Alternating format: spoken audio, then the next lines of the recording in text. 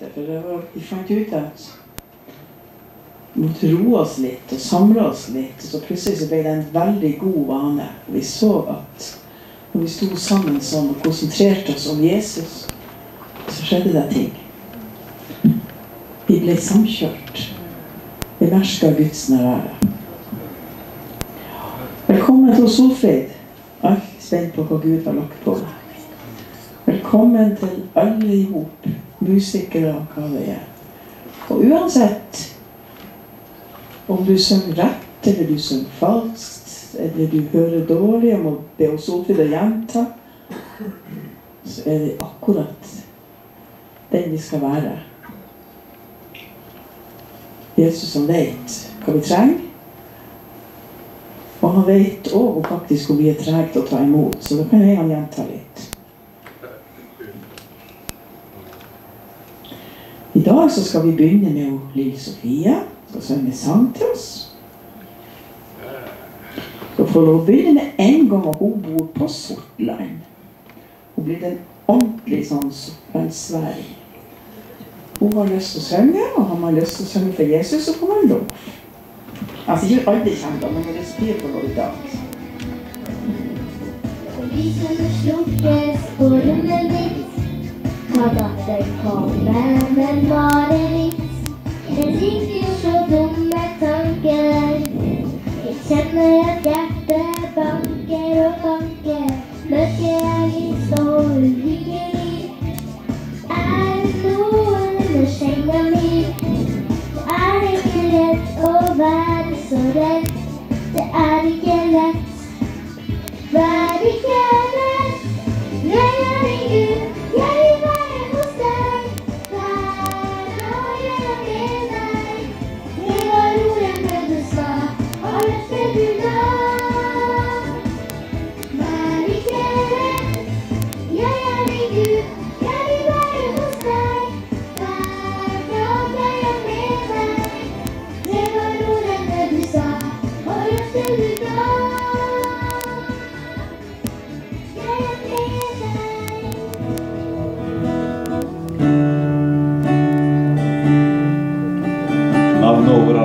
alle navn.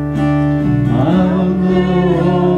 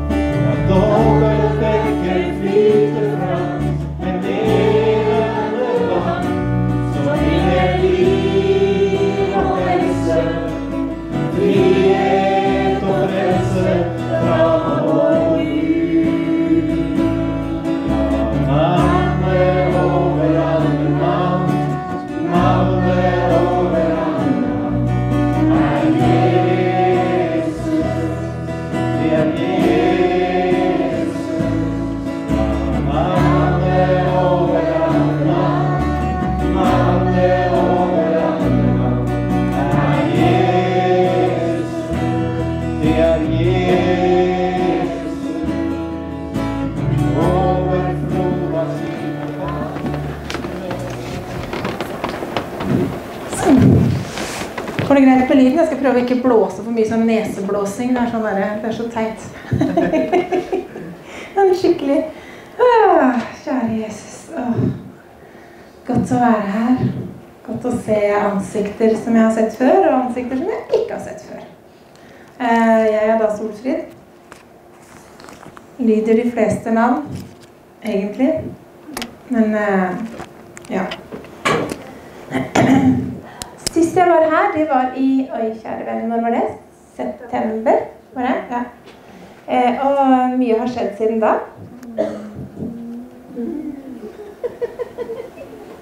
Det skjer alltid veldig, veldig mye veldig, veldig fort når du lever veldig tett på Jesus.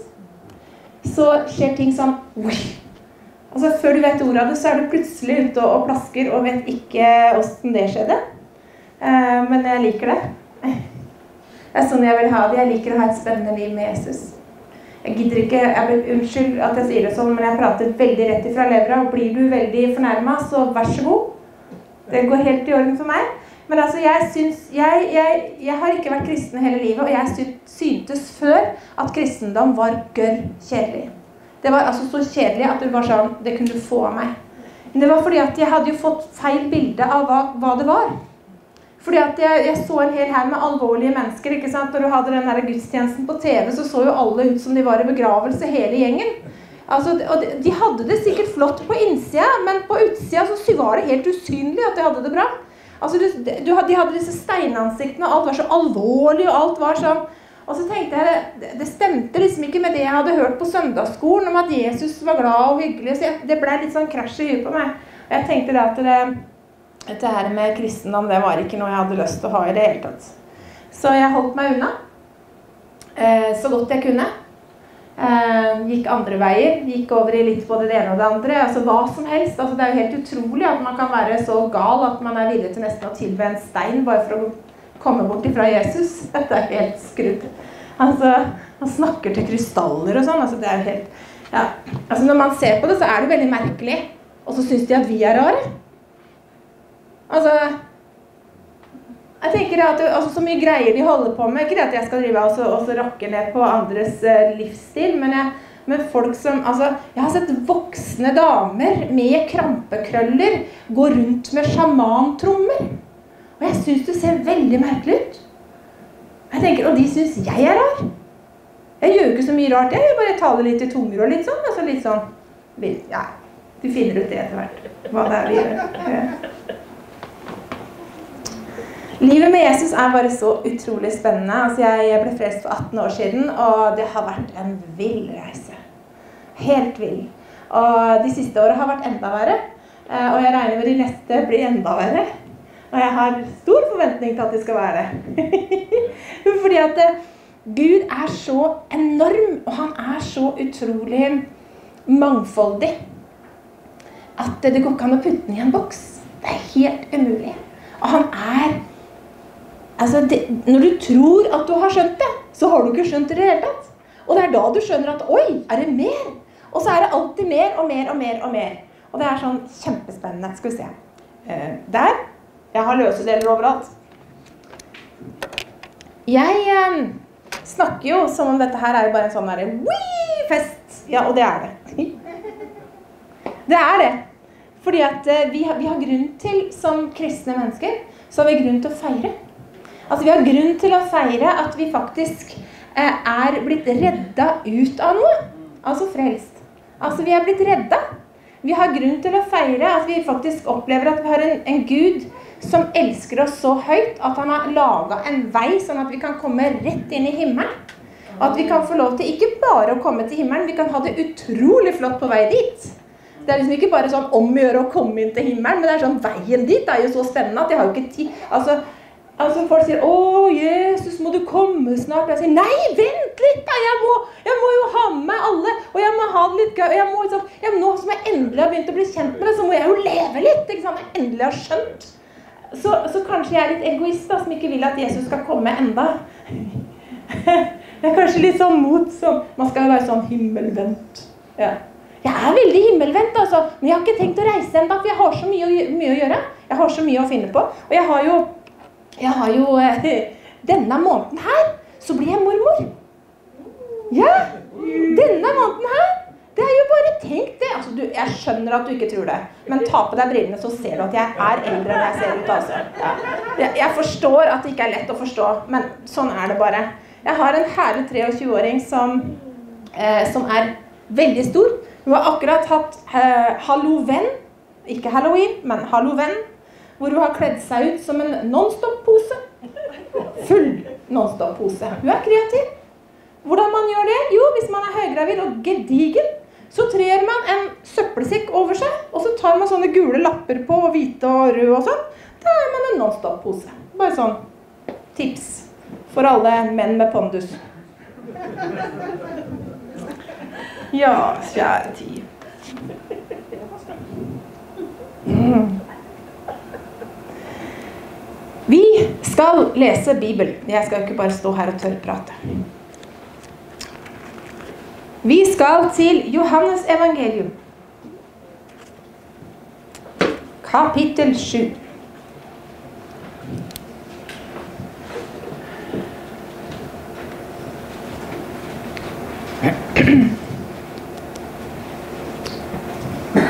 Og der står det fra vers 37, hvis du kommer dit. Jeg har tid til å vente på deg. Det står noe om det i Bibelen at vi skal vente på hverandre.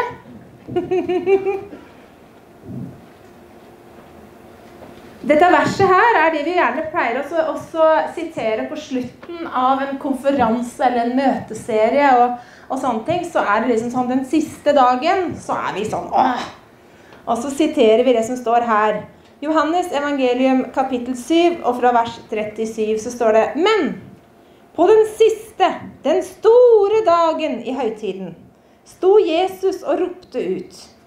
Om noen tørster, han komme til meg og drikke. Den som tror på meg, som Skriften har sagt, fra hans indre skal det flyte strømmer av levende vann. Dette sa han om den ånd de skulle få, de som trodde på ham, for ånden var ennå ikke gitt, fordi Jesus ennå ikke var herliggjort. Altså, Ikke lokk igjen Bibelen din der, for vi skal lese litt til. Men her Dette her er jo sånn som man på en måte tenker Å! Den siste store dagen i høytiden, så dette burde jeg egentlig lest på søndag, sant? Den siste store dagen i høytiden, for vi har jo hatt liksom, da har vi hatt en fest og den siste store dagen. Men så kjente jeg at nei, vet du hva? Det blir jo helt merkelig. Fordi at det, var jo da det starta. Og det er jo nå vi starter denne helga her. Vi starter nå på fredag, og så bare går det ut og bare hui! Ja, vet du, hvis du ikke har vært med på dette før, så hold deg fast. Dette er gøy. Nå, fordi at Gud er her. Ikke fordi at, altså, ikke, Hvis du har kommet for å høre på meg, så har du et problem, for jeg er gørr kjedelig egentlig. Men Helligånd, han er utrolig artig. Så, ja, han har så mye gøy. Og så, um, jo Om noen tørster, han kommer til meg og drikke, sier Jesus. Og så, så videre. Men du vet at det, hvis du kan litt om historie, hvis du har hørt litt, så er det jo sånn at den denne, denne høytiden, denne siste dagen i høytiden, da Altså Før det så har det jo skjedd noe. Sant? Det har jo skjedd noe før det. Det, er, det var siste dagen, så det betyr at det har vært en gjeng med dager. Eh, noe som har skjedd før. Det er veldig greit å finne ut hva skjedde først. Og før det så hadde de jo hatt den festen. Altså Jødene da, de hadde jo en kjempefest hvor de feira med palmegrener og greier. Og de spiste, og de lo, og de var på besøk hos hverandre, og de dansa i gatene. Og det var en stor fest. Og den varte i mange dager. Og en av tingene som var i den her, var jo det at de var nede og henta vann i sånne kar. Så var de nede og henta sånne små sånne, med sånne krukker. Jeg vet ikke hvor mye det var i dem. altså det, Kanskje du veit det, men det er ikke viktig. altså, Hvor mange liter det var i dem. Det var ikke desiliter i hvert fall. Men de henta i hvert fall krukker, disse prestene. De henta krukker med vann. Så dura og tråkka dem opp, og så hadde de liksom den ene krukka, og så helte de den på. Og det er egentlig bildet på Hellig ånd.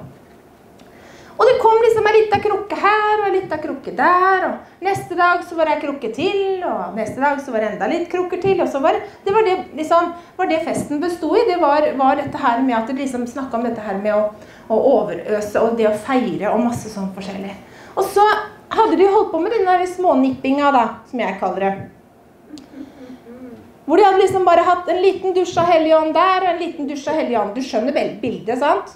Jeg trenger ikke å si til deg at dette er et bilde på noe annet.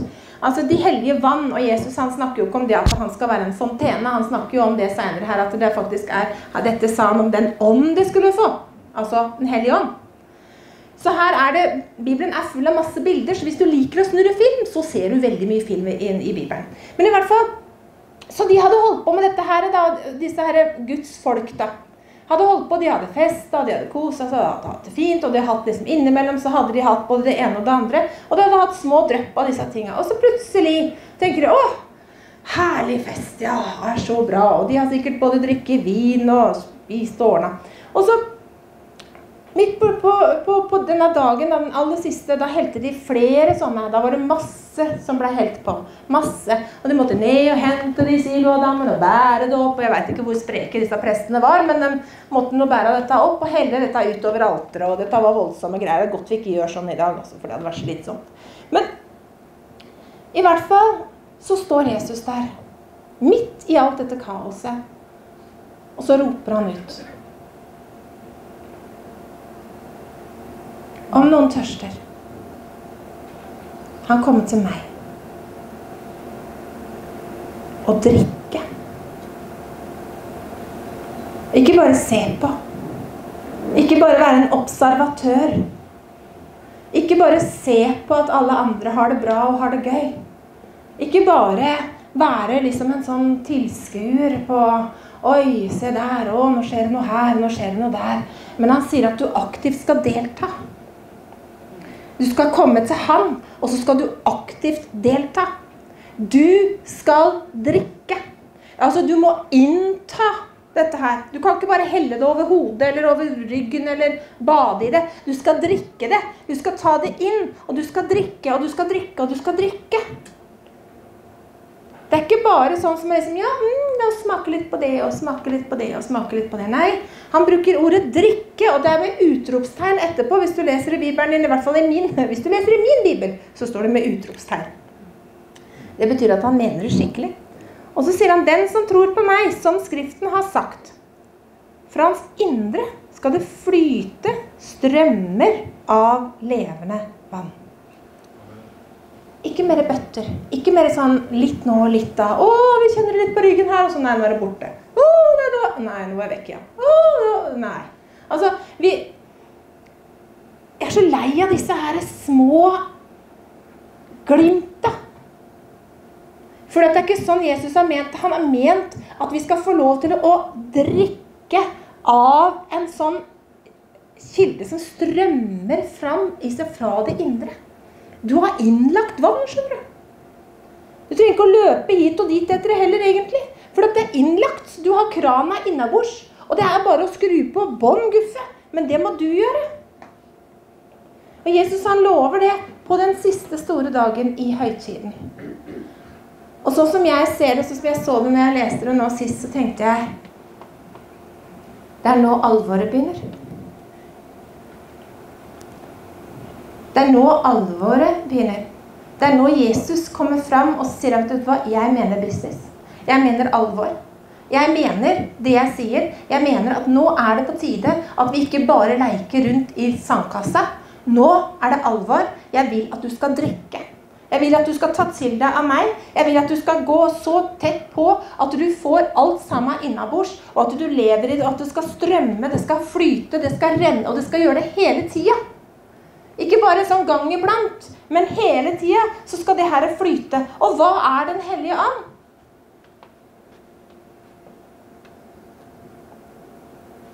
Er det en nusselig hvit due?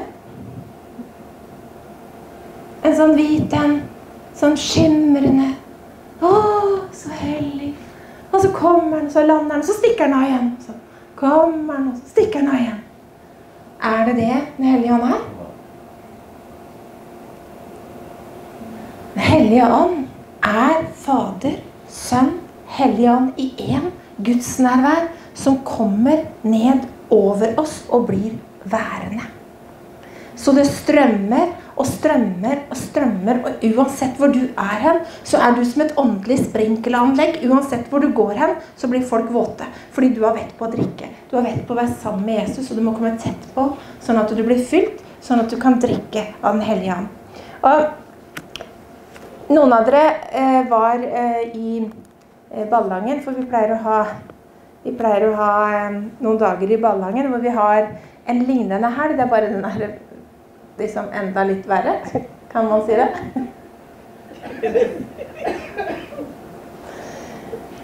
Altså, I Ballangen på nedsida av Narvik så har vi et gudsnærvær som er helt enormt. Det er en besøkelsestid som er Det går ikke an å beskrive det, egentlig. Det er fordi orda for, altså hvis, du, hvis du begynner å snakke om det, så tror folk at du skryter. De tror at du liksom Ja, nå har du lagt på skikkelig. Nå er du med evangelisttillegg og litt til. De, de tror at du tuller. Så derfor så snakker vi ikke så veldig mye høyt om det, fordi at det er så hellig. Det er et gudsnærvær hvor folk blir liggende under Guds kraft. I, ja, sist så var vi var fire, fem, seks timer under Guds kraft. Og folk reiser seg forandra. Folk blir helbreda. Folk får nådegaver. Folk får en så utrolig opplevelse av Guds kjærlighet og omsorg som gjør at de går så sterke derifra. Det, og, og, jeg får rapporter, eller vi, da, for vi kaller oss egentlig litt sånn som Team ID. Det er, jo, det er jo et team, men jeg vet ikke hva Vi må jo kalle oss et eller annet. Uh, ja, og ID er jo da hun som leda først her. det er jo ID. Uh, så prøver vi andre å henge på så godt vi kan. Men i hvert fall så er det sånn at uh, vi får rapporter av mennesker rundt omkring i hele Norge som har vært der. Og vi har en av lederne fra Ballangen som sitter bakom der, sånn, som heter Eigil. Og han har reist enkomst hit fordi han har lyst til, han har så sulten på mer av det Gud gjør. Så han har satt av tid til å komme hit, for han bare må ha mer sant, av Guds nærvære. Eh, og sånn blir det når du har fått smake noe som er ekte. Så løper du etter det. Eh, og det er jo flere her som, som har vært der. Og, og ikke det at jeg skal uh, drive og reklamere for Ballangen, nå, for dette Gud er den samme. Og han er her. Han er den samme. Men det som var, var jo det at til sist så var det noen som var der, som fikk høre det siste som jeg har vært veldig opptatt av. Um, og jeg må dele det igjen nå som jeg er her på Sortland. Hellig ånd, hvem er han? Fader, Sønn, Hellige ånd, hvem er han? Det står I åpenbaringsboken så står det om Jesus at han er beskrevet på en veldig spesiell måte. Det står også f.eks. at han har øyne som flammende ildsluer. Jesus og ild er synonymt. Hvis du leser opp gjennom Gamletestamentet, så vil du finne at Gud presenterer seg på veldig mange forskjellige måter. Men han presenterer seg for Moses i en brennende tornebusk. Han presenterer seg etter hvert som en skystøtte om dagen og en ildstøtte om natten. Han beskrives i Esekiel og i Daniel som fortærende ild. Altså ild, ild, ild, ild hele veien. Og så tenker kjære venner, alle tenker det som ild, det handler om dom. Ikke bare. Ikke bare. Vi skal til Esekiel. Jeg har lyst til å presentere deg for Fader, Sønn, Hellig Ånd. Jeg vil du skal vite hvem Jesus inviterer deg til å ha eh, sterkt nærvær med hver eneste dag. Hvem som egentlig har flytta inn. Hvis du er en kristen, så står det at Fader, Sønn og Hellig Ånd flytter inn på innsida. Det står at Guds rike er inni oss. Det betyr at du er bærer av det jeg nå skal beskrive. Og hvis du forstår at du er bærer av det her, så tror jeg det at da vil du forstå at du er mer enn du trodde. Du har mer enn du trodde. Du tenker ja, lille så jeg, og jeg arme meg, jeg har ingenting. Og jo da. Vi skal lese i Esekiel. Jeg skal litt hit og litt dit. Jesekel kapittel 1.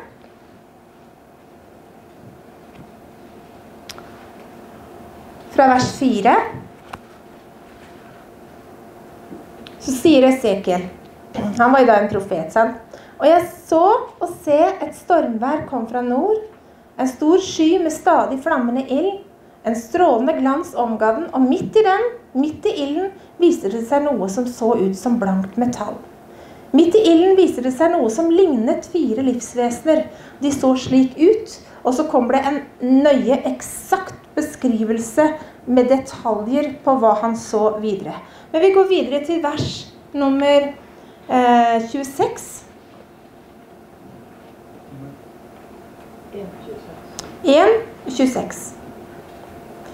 Jeg kan ikke lese alt, for det må du lese sjøl. For det er helt enormt å lese Esekiel når når du begynner å lese med disse brillene på, på den måten.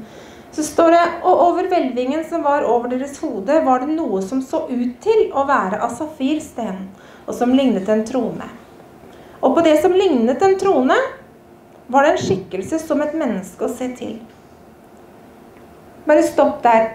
Ser du det at det, her så klarer han egentlig ikke å beskrive det. Det var som en. Det liksom, det er, han klarer ikke detaljert å beskrive. Det å beskrive Gud og beskrive det han gjør, det finnes ikke menneskelige ord for å gjøre det, egentlig. Fordi at det er så overnaturlig og så hellig og så sterkt. Vers 27. Fra det som syntes å være hoftene og oppover, så jeg noe som lignet blankt metall, som ild å se til, med en ring av lys omkring. Fra det som syntes å være hoftene og nedover, så jeg noe som lignet ild. Den var omgitt av strålende glans. Som synet av buen i skyen på en regnværsdag, slik var synet av glansen rundt omkring. Slik så Herrens herlighet ut, slik den viste seg for meg. Og da jeg så det, falt jeg på mitt ansikt, og jeg hørte røsten av en som talte. Dette som beskrives her, er det du har på innsida hvis du er frelst. Er du klar over hvem som bor i deg? Er du klar over egentlig hvilken kraft som er tilgjengelig? Vi skal bla videre til Sekel kapittel 8.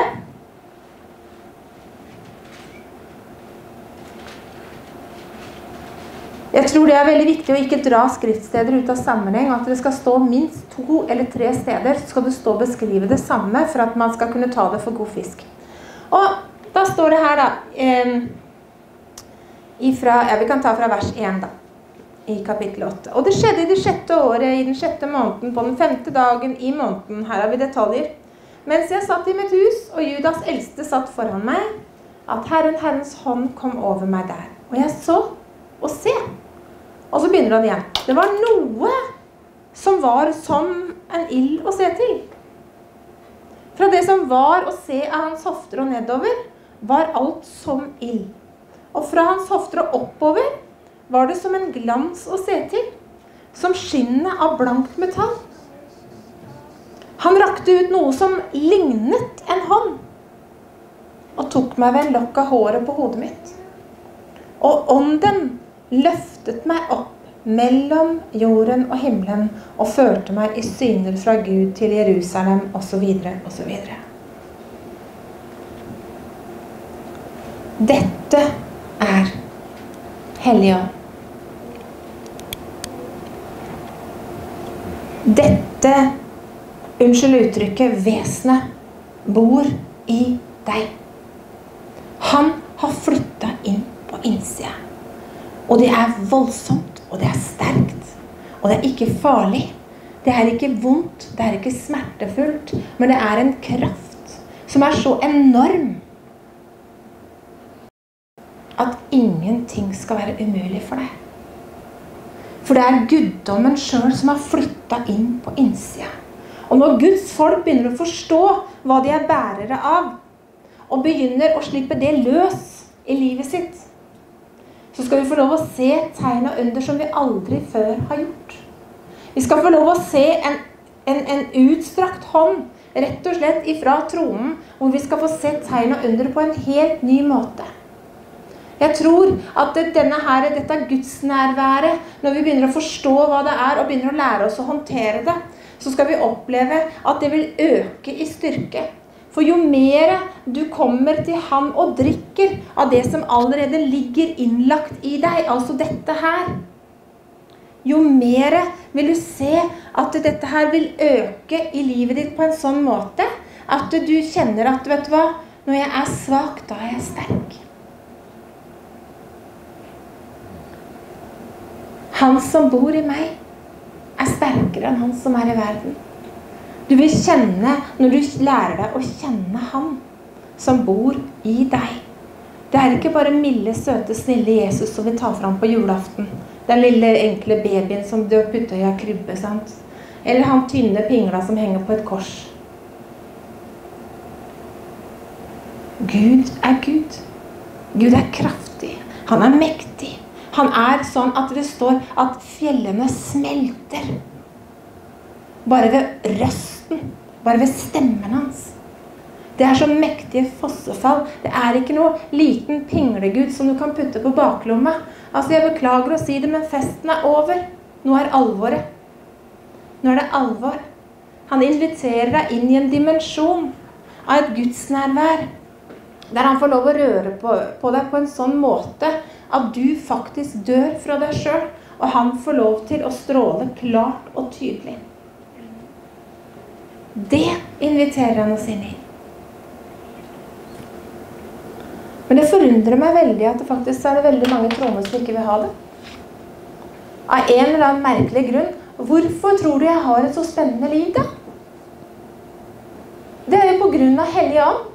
Ellers er det bare tørt kristenliv. Jeg vet ikke, jeg skjønner ikke at folk orker engang. Altså, Jeg begriper ikke hvordan folk orker å sitte på harde stoler eller benker eller hva det er for noe, og bare høre det ene etter det andre. Ikke noe liv, ikke noe glede, ikke noe kraft, ikke noe som skjer. I søndag etter søndag etter søndag. Jeg, vet, jeg hadde parkert for lengst. Jeg hadde ikke orka det, altså. Rett og slett.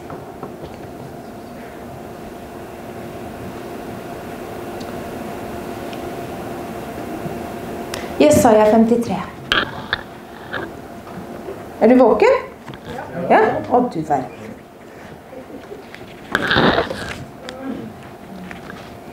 Jesaja 53 er veldig kjent. Sant? Veldig kjent. Jeg er sikker på at du kan sitere det opp og ned og i mente, men har du sett hva det står, da?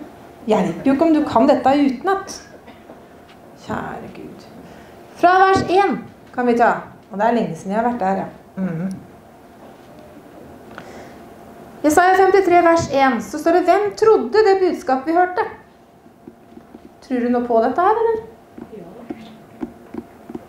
Ja, jeg bare spør. Tror du det jeg nettopp har fortalt deg, tror du at det er sånn? Sant? Ja. Mhm. Det er på tide å leve sånn, da, kanskje. Hvem trodde det budskapet vi hørte? Og for hvem ble Herrens arm åpenbart? Og så står det Han skjøt opp som en kvist for hans åsyn, som en rot i tørr jord. Han hadde ingen skikkelse, ingen herlighet. Vi så han, men han hadde ikke et utseende så vi kunne ha vår lyst i ham. Foraktet var han og forlatt av mennesker, en smertens mann, vel kjent med sykdom. Han var som en som folk skjuler sitt åsyn for, foraktet, og vi aktet ham for intet. Sannelig. Hva betyr sannelig?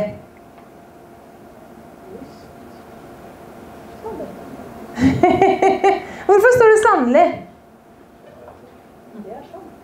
Ja, det er sant. ja. Det må sjekke om du er våken. Sannelig. Liksom, du må jo tenke over hva er det du leser. Sannelig, det betyr jo at hallo, dette er sant. Sånn er det. Det understreker Når du leser Skriften, så tygg på bokstavene. Ikke bare les og les og les, og les, men tygg og gomle på bokstavene. Det står 'sannelig' hos meg. Komma. Sannelig. Jaha, ok, da er det sant. Våre sykdommer kommer han til å ta på seg. Har han allerede tatt, ja. Mm. Og våre piner har han båret. Mm. Så det er allerede gjort. Så hvorfor spør vi Jesus om å komme ned her nå da og begynne å helbrede folk? Han har kommet ned. Og han har tatt sykdommene. Han har gjort det. Vi jakta han for plaget, slått av Gud og gjort elendig. Men han ble såret for våre overtredelser. Følg med nå. Knust for våre misgjerninger. Straffen lå på han for at vi skulle ha fred, og ved hans sår har vi fått legetall. Mm -hmm. Skal vi se Vers 10. Pleier du å lese det? Vers 10. Alt det andre er jo så utrolig flott. Men det står Men det behaget Herren å knuse ham. Altså, det, var, det behaget Gud å knuse sin eneste sønn. Det er jo det det står, er det ikke det? Det er det det står. Han slo ham med sykdom. Når du gjør hans sjel til et skyldoffer, skulle han se etterkommere og leve lenge, og Herrens vilje skulle ha framgang ved hans hånd. Og fordi hans sjel har hatt møye, skal han se det og mettes. Og ved at de kjenner han, skal den rettferdige, min tjener, rettferdiggjøre de mange, og deres misgjerninger skal han bære. Men det står faktisk Han ble knust for våre misgjerninger. Og så står det at det behaget Herren å knuse ham. Det var Guds vilje at Jesus skulle knuses. Hvorfor er det brukt et sånt ord? Hvorfor er det brukt et sånn type ord? Knuse? Altså, Jesus ble jo ikke knust. Han ble jo slått og plaget, Men han ble jo ikke knust. Er det ikke noe liksom, Hvis jeg knuser et glass, eller knuser eh, en, en blomsterpott eller var det, Ble det sånn han Men hvorfor er det brukt akkurat det ordet her sånn? Jeg snakka med mannen min for um, hvor lenge er det siden, da? Altså, jeg har jo snakka med henne i stad. Men kjære Gud, hjelpe meg. Skal liksom prøve å være ryddig predikant har jo ikke peiling på hva jeg snakker om. Jeg snakka med henne i stad, forresten. Han skulle hilse. Eller, ja. Men for en tid tilbake Han var ganske nyfrelst. Jeg var ganske kjepphøy. Som bare sånn spire kan være. Men i hvert fall, så han var og så, og så, skulle vi ha en undervisningsemne, og, rett og, slett, og, og en av emnene der var um, Hvorfor døde Jesus? Og jeg tenkte at ja, vi må snakke om det hjemme. da. Hvorfor døde Jesus? Ja, Hvorfor i all verdens navn døde Jesus? Hvorfor måtte Jesus dø? Og han ser på meg med sine ganske pene øyne, egentlig. Han er veldig kjekk mann. Han er veldig kjekk mann. Veldig, veldig kjekk mann. Ja. Mm. ja. Fokus. Ja, vi har snart 20 års bryllupsdag, så det er, ikke, det er liksom ikke Jeg møtte den ikke i går, liksom. Men ja, skal vi se, kom til poenget. Jo, og så Så svarer han, vet du. Så sier han det at Jo, Jesus døde for at vi skulle få Den hellige ånd. Og jeg tenkte jeg får jeg kløne. Har ikke skjønt noe. Jeg tenkte, herlighet! Han snakker å være opptatt av Hellig Ånd, liksom. Og ikke derfor Jesus døde. Og jeg tenkte ja, Da var jeg skikkelig kjepphøy. Altså jeg tenkte, jeg vet du, Han har jo ikke skjønt noen ting. Går det an å være så klønete? tenkte jeg. Altså, Jeg var skikkelig kritisk og dømmende. altså. Og det, det går jo ikke an å bare tro at Jesus døde for at vi skulle få Hellig Ånd. Og nå, noen år etterpå, så har jeg faktisk funnet ut at ja, Faktisk så hadde mannen min mye mer rett enn jeg var klar over. Ja, Jesus døde for at du og jeg skulle bli frelst. Jeg er ikke vranglærer. Slapp av, det går bra. Men du skjønner det.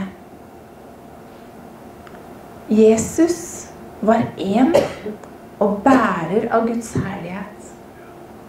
Han var bærer av Hellig Ånd. Bærer av gudsnærværet.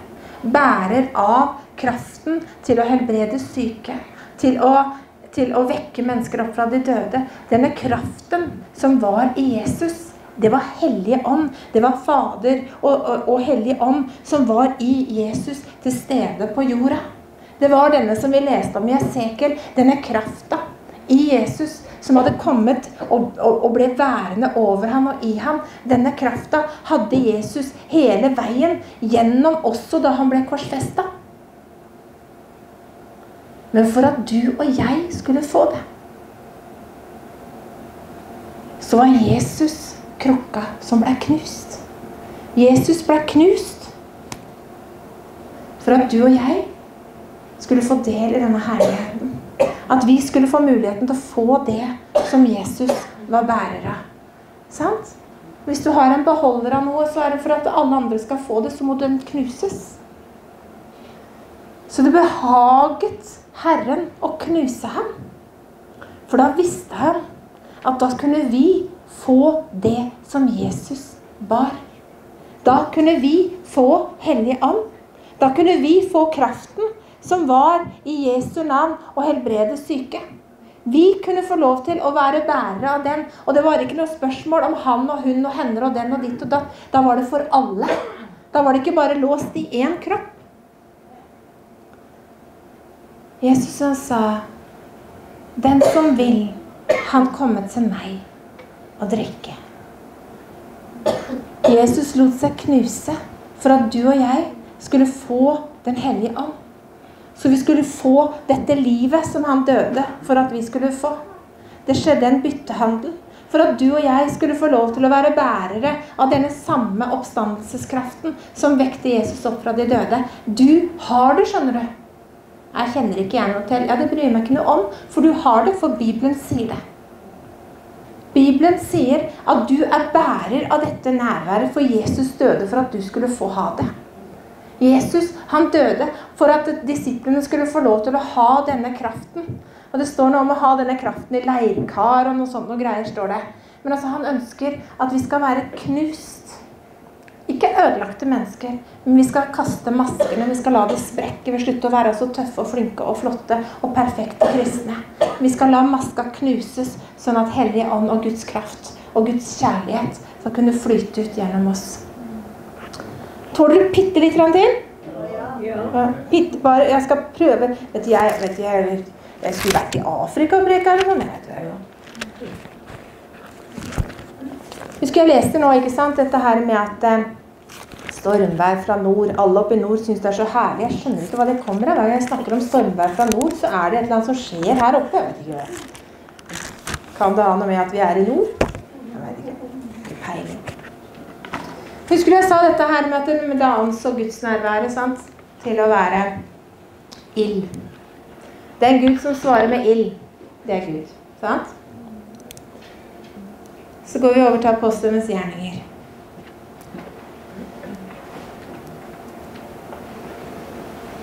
Og noen av dere har hørt dette før. Det bryr jeg meg ikke dutten om. Jeg gjentar det for meg sjøl igjen og igjen. Og vi, må, altså, vi er så trege at vi må ha det inn med teskje alle sammen.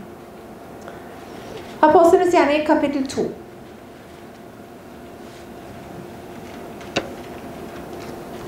Jesus han hadde lova, sagt, at han var nødt til å dra. Og Hvis ikke han dro, så kunne ikke de få Den hellige ånd som var lova. Og nå vil jeg at du skal snurre film i hodet ditt.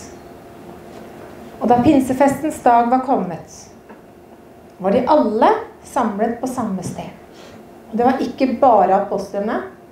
Det var 120 stykker. Da kom det med ett en lyd fra himmelen, som når et veldig stormvær Der har vi det igjen. Farer fram og fylte hele huset der de satt. Og det viste seg for dem tunge liksom av ild som delte seg og satte seg på hver enkelt av dem. Da ble de nesten alle fylt med Den hellige ånd. Hva sier du? Var det noe feil? Og det er alle, ja! Ah, jeg må bare sjekke om du var våken her. Da ble de alle fylt med Den hellige ånd. Og de begynte å tale i andre tunger alt ettersom anden ga dem å tale. Og så vers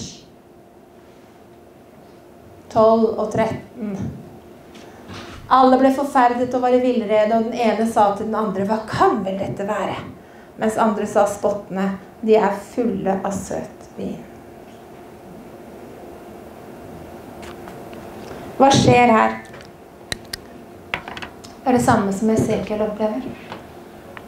Det kommer et stormvær. Mens disiplene er samla der. Jesus er død. Han har, gått, han har stått opp fra de døde. Han har reist opp til Faderen. Og så sitter de. Menn, kvinner, sikkert barn òg. For vanligvis var ungene der hvor mødrene var. Og det var prester, og det var alle slags folk. Og de hadde hørt i sin historie, de hadde hørt og lært i bibelhistorien sin om denne Gud som kom i tornebusken. Denne Gud som var i denne ildstøtten om natta. Vi hadde lært om, om Elias som svarte med ild og bare brente opp hele offeret. De hadde lært om alt dette her som Esekiel snakka om, dette som Daniel snakka om. De hadde hørt om ild, ild, ild, ild, ild og stormvær og alle disse tinga som kjennetegner Gud. Og mens de sitter der sånn, så plutselig så hører de lyden av noe helt vanvittig som de aldri har hørt over Jerusalem før. Hørtes ut som en F-16. Jeg tror ikke det eksisterte på den tida engang. Kun i fantasien til en eller annen guttunge. Den lyden var så kraftig at folk i hele Jerusalem og omegn kommer løpende. Det skjedde ikke bare i en sånn avkrok. Lyden er så voldsom at alle hører det. Hvis du leser hele kapitlet, så hører du at folk kommer løpende til, for de lurer på hva dette er for noe. Og de sitter der sånn, og denne lyden den, den fyller øra deres. Og etter hvert så fyller den hele rommet der de sitter. Så kommer det da et nærvær inn i rommet. Som er så kraftig. Og så Plutselig så ser de på hverandre. Så kommer det en flamme. Og ser de. Der er en flamme. Der er en flamme. Der er en flamme. Der er en flamme. Der er en Å, jeg har en, jeg òg. De ser hverandres flammer, og de forstår at dette er Gud. For er Gud som svarer med ild. Det er Gud. Det står i Johannes han sier at eh, Jesus skal døpe dere med Hellige ånd og ild. Utbrente kristne er stusslig syn. Når du har, er satt i brann for Jesus, så brenner du verken ut eller opp. Da ble de alle fylt. Altså denne rekkefølgen. Lyden. Rommet ble fylt. Tungene kom oppå hodet på folk, altså ild. De ble ikke svidd. Det som brenner først, er gjerne håret. Men de brant ikke opp. De så hverandres flammer. Og så ble de alle fylt med Den hellige ånd. Og som jeg leste sist her, så trodde folk at de var fulle. Og jeg kan tenke meg altså jeg tror, vet du, Fulle folk har jo ikke noen hemninger. Jeg vet ikke om du har sett fulle folk før? De eier null hemninger. Altså de, har, de er hemningsløse. De bryr seg ikke i det hele tatt. Så jeg kan godt tenke meg at når de blir fylt med Hellig Ånd der sånn, så ble de sånn som noen som kanskje har vært litt rundt på gatene her sånn i helgene. At eh, de var antageligvis sånn Oi, se på den mannen! Det bodde jo så. Og så hadde de det utrolig moro med alt det her, fordi de syntes det var det så stort, det som skjedde. Og det står at de, at de oppførte seg som om de var fulle. Ja, men Gud er en alvorlig Gud. Han er en ordensgud. Jeg tror ikke det var så mye orden der på øvre salen. Og etter hvert når de fikk snubla seg ned trappa og ut på gata, så var det i hvert fall ikke noe orden. Og de drev og virra rundt der og snakka tullespråk i alle vimser. Og folk sier men kjære venner, vi er jo fulle hele gjengen, har tatt for mye vin', altså. Men det var jo ikke det.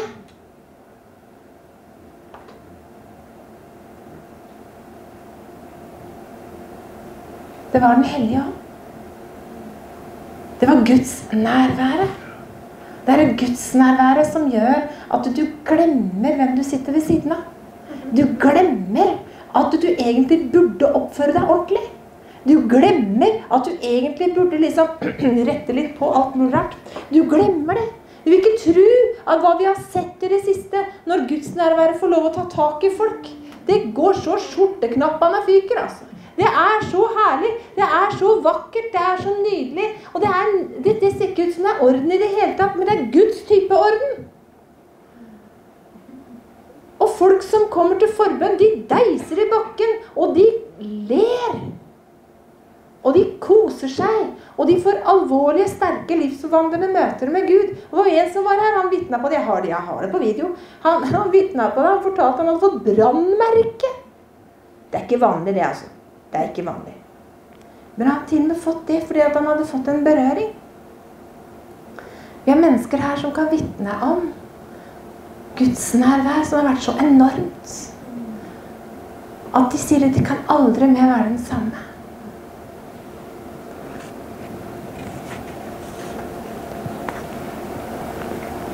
Det er noe med det her Vil du ha det? Så er det noen som sier nei, jeg har vært i barnehagen, jeg har fått det. Men du skjønner at vi har et utrolig herlig eh, sånt ord som vi alltid har. Vi sier at Gud, vi vil ha mer. Mm. Mer. Og det er noe med det at vi skal ikke sveive rundt som noen tullinger hele tida. Men du verden og artig der innimellom. vi trenger ikke å sveive rundt, men vi kan få lov. Vi kan få lov til å bade i Guds nærvær. Vi kan få lov til å synke ned i den her freden og gleden og herligheten som han har, på en helt spesiell måte. Og vi kan få lov til å bli fylt med Hellig ånd og ild. Og når ilden kommer, så blir du aldri mer den samme. For du blir svidd bort. Du og ditt. Og jeg veit ikke hvor mange ganger jeg har krangla med meg sjøl. Jeg prøver så godt jeg kan å være en god kristen. Jeg får det ikke til, altså. Altså, jeg er så umulig. Jeg, den der hjernen min den finner på så mye at jeg klarer ikke å være en god kristen. Jeg klarer ikke det. Det er så helt umulig. Jeg har prøvd det. Prøvd både skjørt og tull i nakken og alt, Ja. Men det funker ikke i det hele tatt. Men med Den hellige ånd Det er alt mulig. Absolutt alt er mulig. Og derfor så snakker jeg om det hele tida. Fordi at jeg veit at hvis du får tak i det, så blir du farlig. Hvis du får tak i Guds sannhet om hvem du er, og hva du er bærer av, og hva han har lagt på dine skuldre, hvilket mandat du har, og hvilken kraft du har Hvis du oppdager det, og begynner å bevege deg i det, så er det ingen som kan stoppe deg på noe som helst vis. Ingen kan stoppe Guds folk når du begynner å bevege seg i det her. Da har du ikke bare én Todd White på en scene. Da er dere Todd White hele gjengen. og bare skaffe dere rastafletter alle sammen.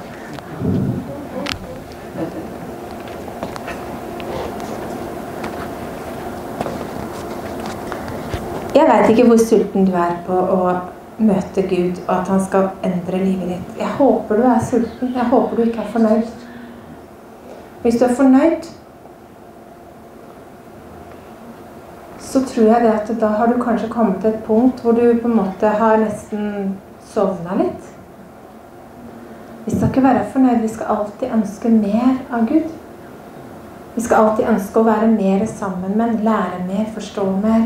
Og det er sånn jeg er så lei av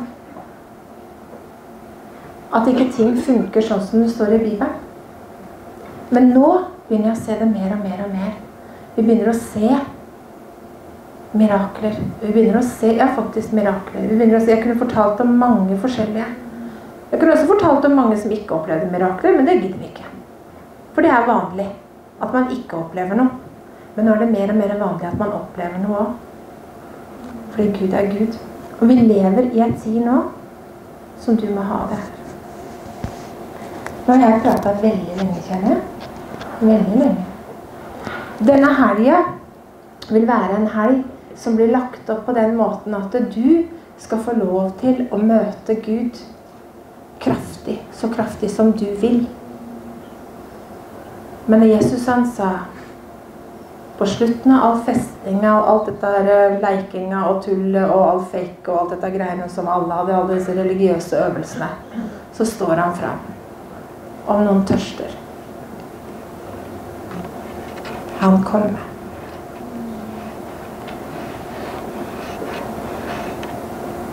Og det er en invitasjon som jeg tror står hele veien, helt til vi kommer til himmelen. Han roper det ut ganske klart og tydelig. Er du tørst? Er du tørst? Er du tørst? Vil du ha mer? Vil du ha mer av mitt nærvær? Vil du ha mer av min kraft? Vil du ha mer av det jeg har å by på? Vil du ha mer av nådegaver? Vil du ha mer av Guds nærvær? Vil du ha mer kjærlighet, tålmodighet, fred, glede? Vil du ha så mye kjærlighet at det jager all frykt ut? Vil du ha det han har sagt at du, som tilhører deg? Vil du ha, er du tørst? Den som tørster. Og hvis du ikke tørster, så må du be Gud om å gjøre deg tørst igjen. For Gud er i ferd med å reise opp en hær av mennesker som beveger seg inn i det mørket som vi er på vei inn i. Og han spør er du med. Vil du være med? Skal du være en av de? Han utfordrer, og jeg kjenner at det er ikke noe kjære mor. Han utfordrer deg til å gå og kaste deg utpå så langt som du kan. Og ikke bare plaske i vannflata, men la deg drukne.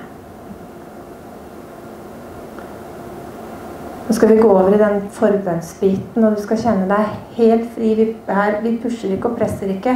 Men for deg som ikke er vant til disse delene som vi har med forbønn, så vil jeg bare forklare veldig enkelt.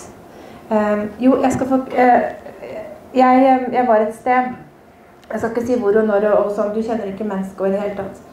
Men i hvert fall dette mennesket Hun var så sulten på å bli fylt av Hellige Ånd. Hun var så sulten at hun visste ikke altså, Hun bare gråt og var helt Hun måtte ha denne ilden. da. Og så etter en god stund da, så, så, er vi ute i en gang, og så står vi og så, og, og så tenker jeg Ok, da, ja, vi, vi, får be her, da. For hun var helt desperat. Så jeg stiller meg bare for henne.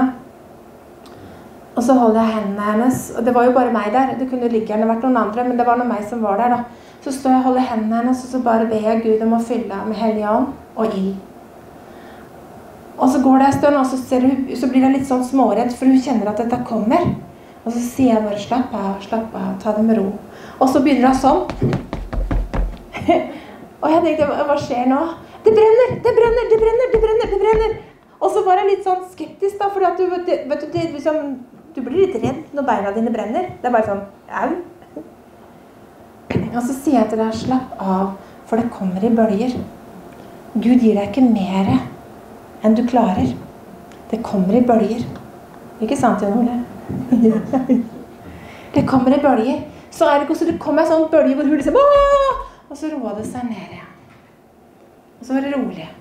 Og så kom han i enda, enda sterkere bølge. Og da var det enda mer sånn, men da begynte resten av kroppen. Og så sier jeg, vil du ha mer? Vil du at du tar mer enn bare i beina? Ja! Det, men det var så nydelig. Og så, ja, da må du invitere, for jeg kan ikke hjelpe deg med det her. Dette er en sak mellom deg og Gud. Jeg bare er her. Så sa Jesus, vær så snill å fylle meg mer. Og etter hvert så hadde han denne ilden over hele kroppen sin, og det brant, og det brant, og det brant, og det brant, og det brant, og det brant. Og vi måtte bære av til bussen. Det var helt umulig å få henne til å stå på beina sine, men det brant, og det brant, og det brant, og det brant, og det brant. Men det kom i bølge på bølge på bølge. Så når Gud rører ved deg, så ikke stopp. Liksom en sånn touch, og så bang, og så ligger du der sånn Å, ja, det var moro. Nå går vi og drikker kaffe. Bli værende. Og vet når neste bølge så kommer det sterkere og sterkere sterkere.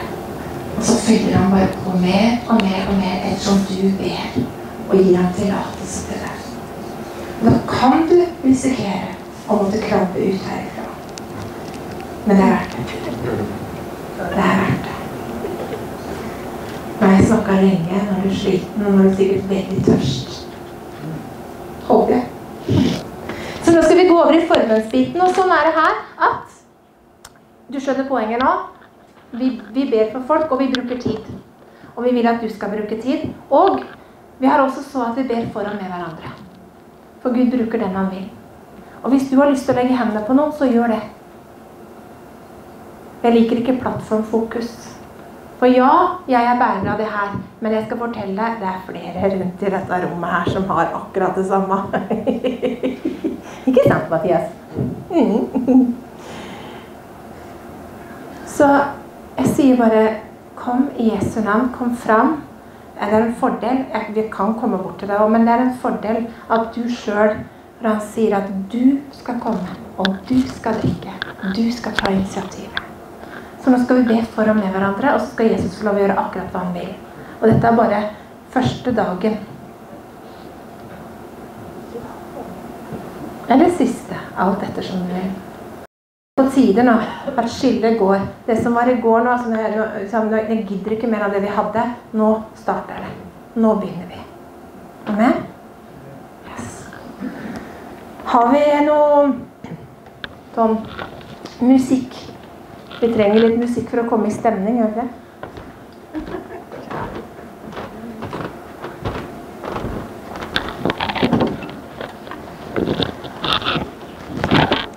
Det er ikke noe vits å vente på fra hverandre. Jeg har ikke tenkt å vente på deg. Enten kommer du, eller så lar du være.